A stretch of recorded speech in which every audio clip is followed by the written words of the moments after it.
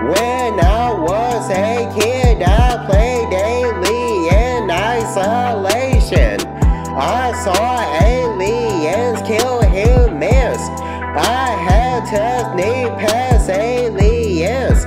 It was important to be silent. Being too loud can make them run and kill you. If you play the game, you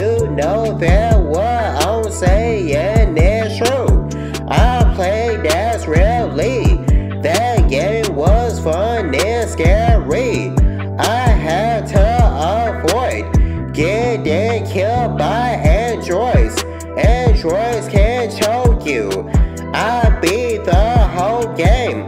The trailer of the movie Alien Romulus was good in turn.